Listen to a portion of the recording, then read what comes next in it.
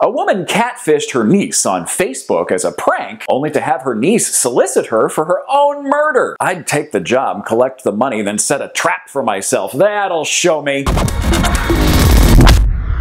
Woman in Tuscaloosa, Alabama was sick and tired of her ingrate niece, Marissa, hopping on Facebook, chatting up strange men, and inviting them over to the house late at night. So she decided to pull a little prank. She created a fake profile under the name Top Dog and began catfishing Marissa. At first, the conversations were of the standard have sex with me and I'll let you pay my phone bill variety, but then things got dark. Once Marissa got comfortable with Top Dog, she revealed her desire to murder her aunt, her aunt's fiance, and even the family dog, not realizing that she was soliciting her own aunt to commit these vile deeds against herself. Well, needless to say, her plot was thwarted, and Marissa now sits in a Tuscaloosa County jail. As for the aunt, well, she should keep that top dog handle. Sounds like a crime fighter to me.